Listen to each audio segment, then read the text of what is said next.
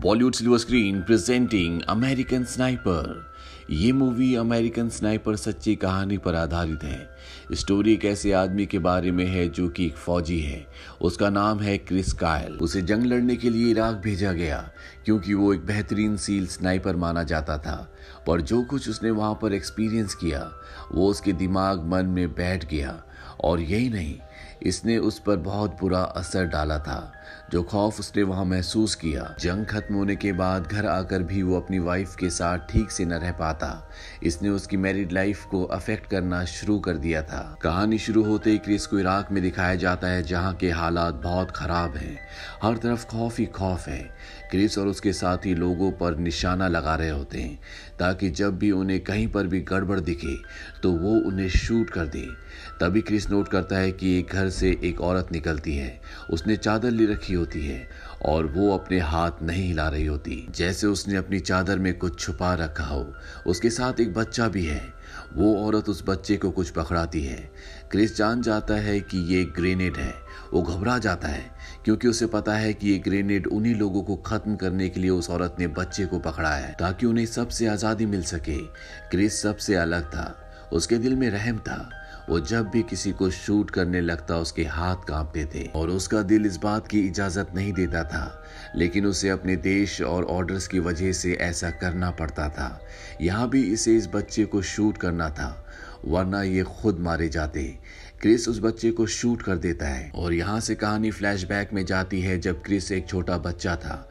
वो अपने पिता के साथ शिकार करने जंगल गया था, जहाँ पर उसके पिता उसे हिरन का शिकार करना सिखाते हैं। क्रिस अपना निशाना बहुत ही अच्छे तरीके से लगाता है, जिससे वो हिरन का शिकार कर देता है। अब काफ़ी साल बीत जाते हैं और क्रिस बड़ा हो चुका है। अब वो एक काउ बॉय है, उसे अपने प्रोफेशन में काफ़ी इंटरेस्ट होता है। एक दिन जब वो घर जल्दी आ जाता है तो वो देखता है कि घर पर उसकी गर्लफ्रेंड किसी और आदमी के साथ सो रही है। इस बात से क्रिस को बहुत दुख होता है और वो अपनी गर्लफ्रेंड को वहाँ से जाने के लिए कहता है। इसके बाद वो अपने भाई से मिलता है और उसके साथ टीवी देखने लगता है। न्यूज़ से उसे पता चलता है कि यूएस एम्बेसी पर कुछ अटैक हुए हैं, जिससे उन्हें काफ़ी कुछ फेस करना पड़ा है। बस यही वो वक्त होता है, जब क्रिस के दिल में ये बात आती है कि वो यूएस यानी अपने देश को सर्व करेगा और एक अच्छा ऑफिसर बनेगा। वो इंटरव्यू देने जाता है और लकीली सेलेक्ट भी कर लिया जाता है। उसकी ट्रेनिंग शुरू हो जाती है। काफ़ी ट्रेनिंग करने के बाद क्रिस इस काबिल हो जाता है कि खुद को एक अच्छा आर्मी ऑफिसर कह सके। एक दिन वो एक बार में जाता है जहाँ पर उसकी मुलाकात एक लड़की से होती है, जिसका नाम टाया होता है। इन दोनों के बीच में काफ़ी अच्छी बातें होती है। जल्दी ये दोस्त बन जाते हैं और दोस्ती प्यार में बदल जाती है और इन दोनों की शादी हो जाती है। लेकिन क्रिस इराक जाने के बाद बहुत बिज़ी हो जाता है, क्योंकि वहाँ उसे बहुत मुश्किल और डेयरिंग मिशन मिलते हैं। जिनको कंप्लीट करने में बहुत हौसला चाहिए, वो काफ़ी लोगों को मारता है। ना चाहते हुए भी उसे अपने देश के लिए सब करना पड़ रहा था। इसकी वजह से सब उसकी बहुत तारीफ़ करते हैं और उसे सीनियर रैंक मिल जाता है। उसकी हिम्मत और किलिंग हिस्ट्री को देखते हुए उसे एक और बहुत बड़ा मिशन दिया जाता है, और वो एक बहुत खतरनाक टेररिस्ट को मारने का होता है। उस टेररिस्ट का नाम अबू मुसद होता है। अब इसका पता लगाने के लिए यूएस आर्मी घर घर जाकर पूछती है। उन्हें एक फैमिली मिलती है जिसके हेड को यानी आदमी को अबू मुसद के बारे में पता होता है। वो कहता है कि एक आदमी उसका बहुत करीबी साथी है। मैं उसको जानता हूँ।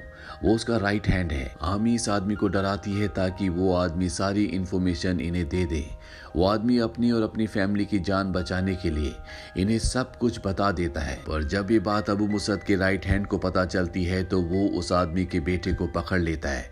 अपना बदला लेने के लिए वो उस आदमी के सामने ही उसके बेटे को ज़मीन पर गिरा देता है और ड्रिल मशीन को ऑन करता है और उस आदमी के बेटे के सर में घुसा देता है। ये एक बहुत ही दर्दनाक मंजर है। बाप अपने बेटे को उस हालत में देखता है और ज़ोर ज़ोर से चिल्लाने लगता है, वो आगे बढ़ता है। लेकिन वो आदमी बच्चे के बाप को शूट कर कर गिरा देता है। क्रिस दूर से फायरिंग शुरू कर देता है ताकि वो मुसब के साथी का ध्यान अपनी तरफ़ खींच सके और बच्चे को बचा सके। लेकिन उसकी तरफ़ भी गोलियाँ चलाई जाती है, जिससे वो बच्चे को बचाने में नाकाम रहता है। वो इस सबसे थक जाता है। उसका जहन ये सब एक्सेप्ट करने के लिए तैयार नहीं होता कि कैसे एक इंसान दूसरे इंसान पर इतना जुल्म कर सकता है। कुछ दिनों बाद उसे खबर मिलती है कि वो पिता बन गया है। तो ज़ाहिर है अब उसकी वाइफ को और बेबी को उसकी ज़रूरत थी। तो क्रिस छुट्टियों पर घर आ जाता है। घर आकर भी वो न्यूज़ में इराक के हालात की खैर खबर लेता रहता है। उसकी वाइफ उससे कहती है कि आप हमेशा सोच में गुम रहते हैं। पहले आपकी ज़िंदगी में सिर्फ़ मैं थी। मैंने आपके बगैर गुजारा कर लिया। लेकिन अब हमारा बच्चा इस दुनिया में आ चुका है। हमें आपकी ज़रूरत है। क्रिस को भी इस बात का एहसास होता है। लेकिन जितना वक्त वो इराक के बुरे हालात में गुजार चुका था, उसके लिए नए तरीके से चलना और ज़िंदगी गुजारना काफ़ी मुश्किल था। इस वजह से उसकी फैमिली टर्म्स कुछ बिगड़ने लगती है। जल्दी वो दिन भी आ जाता है जब उसकी छुट्टियाँ खत्म होने वाली होती हैं। और अब उसको वापस जाना था। वो हेलीकॉप्टर में बैठकर इराक आ जाता है। इराक पहुंचकर उसे पता चलता है कि उसकी सबसे ज़्यादा किलिंग की वजह से लोग उसके पीछे हैं, जिसमें अबू मुसाब और उसका राइट हैंड टॉप लिस्ट में है। इसीलिए सर्च ऑपरेशन होने लगते हैं। यूएस आर्मी जगह जगह अबू मुसाब और उसके राइट हैंड को ढूँढने लगती है। घर घर जाकर तलाशी लेती है। हर तरफ़ खौफ फैला होता है। एक रोज वो एक घर पहुँचते हैं, जिसकी तलाशी के दौरान उन्हें वहाँ पर काफ़ी ज़्यादा हथियार मिलते हैं। यानी कि इस फैमिली का लीडर भी टेररिस्ट के साथ मिला होता है। इन्हें पता चलता है कि अबू मुसाब के साथी का घर सामने ही। है अभी सब लोग तैयार हो जाते हैं कि वहाँ जाकर उस आदमी को, यानी कि अबू मुसाब के राइट हैंड को खत्म करेंगे। वहाँ पहुँचते ही लोग उन पर फायरिंग शुरू कर देते हैं, जिसमें अबू मुसाब के राइट हैंड की मृत्यु हो जाती है। ये इनके लिए एक बहुत बड़ी अचीवमेंट होती है, क्योंकि दो आतंकवादियों में से एक को ये मार चुके थे। यहाँ क्रिस को आए हुए काफ़ी महीने हो चुके हैं। वो अपनी फैमिली को मिस भी करता है, पर इतने टफ माहौल में वो बार बार वापस नहीं जा सकता। जंग के माहौल में रहते रहते उसकी मेंटल स्टेट अब पहले जैसी नहीं रही थी। उसमें बहुत ज़्यादा अग्रेशन आ गया होता है। बात बात पर गुस्सा करना, हर एक चीज़ को नेगेटिव रूप में जांचना उसके लिए नॉर्मल रूटीन का हिस्सा बन गया था। इसी दौरान क्रिस को पता चलता है कि उसकी बेटी हुई है। इसीलिए क्रिस को एक बार फिर से घर आना पड़ता है। वो हॉस्पिटल जाता है, लेकिन वहाँ नर्स और स्टाफ पर गुस्सा करने लगता है। दरअसल, जंग के माहौल में रहने के बाद गुस्सा, एग्रेशन उसकी आदत में आ चुका था, जो यहाँ हॉस्पिटल में बहुत ज़्यादा वियर्ड लगता है। वहीं दूसरी तरफ़ इराक में हालात बिगड़ने लगते हैं। इराक में एक सीरियन स्नाइपर होता है, जो यूएस आर्मी पर छुप कर अटैक कर रहा होता है वो क्रिस को भी हराना चाहता था, ताकि वो हर मिशन में फेल हो सके। वो स्नाइपर यूएस आर्मी पर फायरिंग करता है, जिससे काफ़ी लोग जख्मी हो जाते हैं। उनमें से एक क्रिस का बहुत अच्छा दोस्त भी होता है। आर्मी के दो खास लोग भी मारे जाते हैं। जब क्रिस को खबर मिलती है तो वो इराक वापस आ जाता है। यहाँ उसे एक और दिल दहलाने वाली खबर मिलती है कि उसका जो दोस्त जख्मी था, अब वो दम तोड़ चुका है। क्रिस खुद भी टूट जाता है। क्योंकि वो अपनी वाइफ को ये कहकर आया था कि वो सिर्फ़ अपने दोस्त के लिए वापस जा रहा है। और इसके जवाब में उसकी पत्नी ने उससे कहा था कि आपके लिए फैमिली ज़रूरी नहीं है। अब आप वहीं रहें और अगर आप वापस आए भी तो शायद हमें ना पाए। क्रिस परेशान हो जाता है, लेकिन तभी उसे एक और मिशन के लिए तैयार किया जाता है, जो कि इसी सीरियन स्नाइपर को मारने के लिए होता है। वो सब एक जगह पर डिप्लॉय किए जाते हैं, जहाँ क्रिस उस सीरियन स्नाइपर का निशाना लगाते हुए उसे मार गिराता है। यहाँ एक बार फिर से क्रिस की वजह से यूएस आर्मी की जीत होती है। पर अब मुसाब को भनक लग जाती है कि क्रिस आसपास ही है और वो उसे मारना चाहते हैं। तब वो सब भी यूएस आर्मी और क्रिस को ट्रेस करने लगते हैं। ये सब वहाँ से निकल रहे होते हैं कि तभी वहाँ पर टेररिस्ट अपना जाल बिछा देते हैं। अब यहाँ पर रेत का तूफ़ान भी आ जाता है, जिससे यूएस आर्मी को कुछ भी नहीं दिख रहा होता।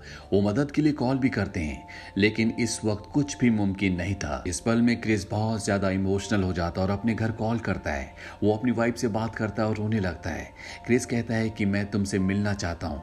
मैं आखिरी सांस तक कोशिश करूँगा कि तुम तक और अपने बच्चों तक पहुँच सकूँ। यहाँ पर रेत के तूफ़ान से घबराने की बजाय यूएस आर्मी डिसाइड करती है कि वो कैमोफ्लाज, यानी कि रेत के तूफ़ान से बने पर्दे का फ़ायदा उठाते हुए यहाँ से निकल जाएगी। यूएस आर्मी ऐसा ही करती है, पर रास्ते में क्रिस को गोली लग जाती है, लेकिन वो अभी भी हिम्मत नहीं हारता।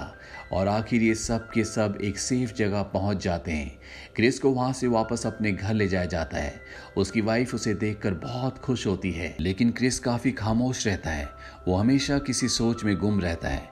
उसकी वाइफ उसके इस बिहेवियर से काफ़ी चिंतित होती है। वो क्रिस को मेंटल हेल्थ कंसल्टेंट के पास लेकर जाती है। यहाँ में पता चलता है कि क्रिस की खामोशी के पीछे उसके रिग्रेट्स थे। उसे पछतावा था कि उसने इतने सारे लोगों को मारा। उसने गलती की। वो लोग मरना डिजर्व नहीं करते थे। तब कंसल्टेंट उसे हिम्मत देता है और कहता है कि क्रिस तुम एक आर्मी पर्सन हो। तुमने अगर अपने देश की हिफाजत के लिए ऐसा किया तो तुम्हें इसका पछतावा नहीं होना चाहिए। साथ ही वो और भी ऐसे लोगों को बुलाता है जो कभी कभी आर्मी में सर्व कर चुके थे। वो सब अपने एक्सपीरियंस शेयर करते हैं और क्रिस को मोटिवेशन देते हैं। क्रिस अब सोचने लगता है कि जंग खत्म हो चुकी है। उसे अपनी वाइफ को, बच्चों को क्वालिटी टाइम देना होगा। वो उसके लिए बहुत कोशिश करता है और आहिस्ता आहिस्ता कामयाब होने लगता है। अचानक उसके घर में उसका दोस्त या यूँ कह लें कि उसका कोई जानने वाला आता है। उसे क्रिस से कोई मदद चाहिए थी। क्रिस उसके साथ चला जाता है। लेकिन अब हमें यहाँ बताया जाता है कि क्रिस को उस आदमी ने मार दिया। क्रिस की वाइफ को जिस बात का डर था वही हुआ। वो खाली हाथ रह गई। अब क्रिस की डेड बॉडी को बहुत शान के साथ उसके घर वापस लाया जाता है। आसपास आमी होती है और उसका मेमोरियल भी बनाया जाता है। मूवी की एंडिंग सीन में हमें एक्चुअल पिक्चर्स दिखाई जाती हैं, जो इस बात का विटनेस होती है कि क्रिस वाकई एक सच्चा किरदार था। यानी कि पूरी कहानी सच्ची घटनाओं पर आधारित है। इस कहानी से हमें सीख मिलती है कि जंग में चाहे जीत किसी की भी हो, लेकिन नुकसान दोनों तरफ़ होता है। दुख और तकलीफ़ दोनों तरफ़ आती है। तो ये थी पूरी कहानी फ़िल्म अमेरिकन स्नाइपर की। ये मूवी सन 2014 में रिलीज़ हुई थी। आई पर इसकी रेटिंग है सात दशमलव तीन। इस फ़िल्म का बजट था उनसठ मिलियन डॉलर्स और बॉक्स ऑफ़िस पर इसने कमाई की थी पाँच मिलियन डॉलर्स की। उम्मीद करते हैं कि ये कहानी आपको पसंद आई होगी।